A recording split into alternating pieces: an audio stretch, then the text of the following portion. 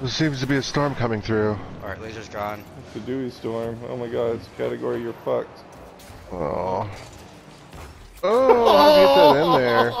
What was that? I did that all on purpose. I pulled it straight to pull it in front of me because I had no angle there. And then I pre-jumped Oh, it and hit it. mm. I said, hmm. "Get over here." Yeah. Mm.